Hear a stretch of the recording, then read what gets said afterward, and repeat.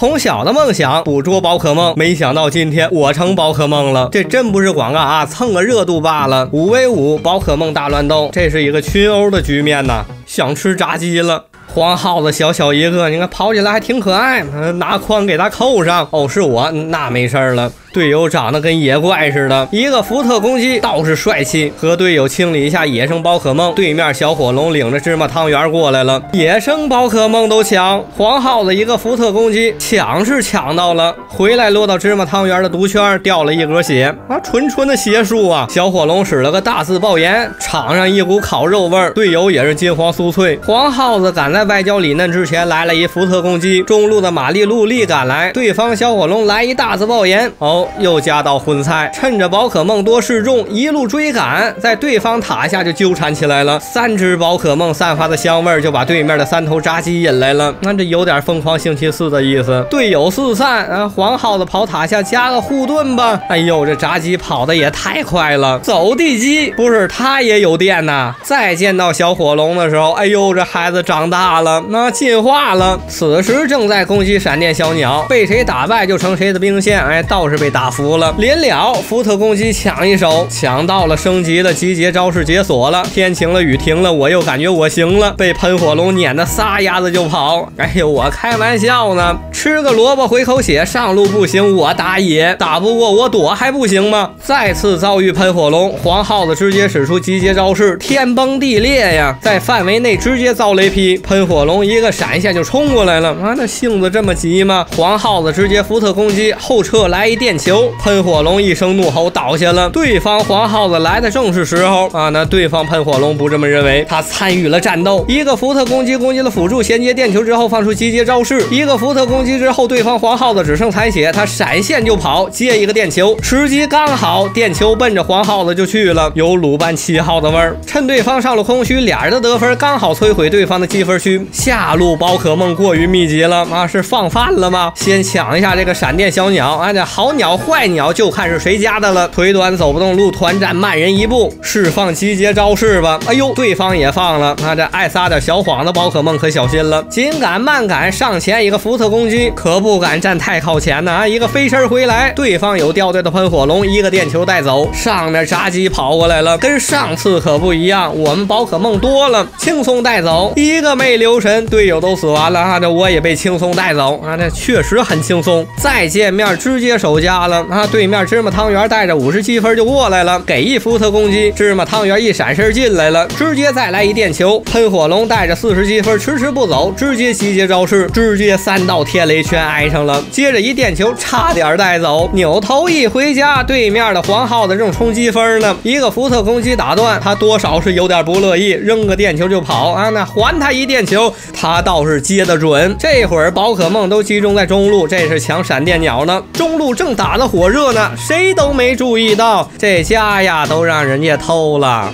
又是这个炸鸡，行吧，这午饭吃定了。这条视频就到这里，我是王凯，我们下条视频见。